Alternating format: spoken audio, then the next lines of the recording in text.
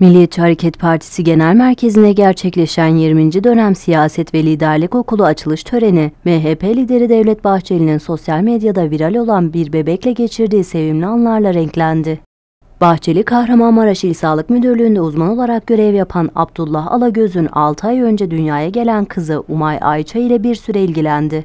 MHP lideri bebekle olan etkileşimlerini tören öncesine gerçekleştirdi ve bu sıcak anlar etkinliğe katılanların büyük ilgisini çekti. Umay Ayça Bahçeli'nin kendisine verdiği isimle siyasi etkinlikte özel bir yer edindi. MHP Genel Merkezi bu anlamlı buluşmayı sosyal medya hesaplarından paylaşarak geniş kitlelere ulaştırdı.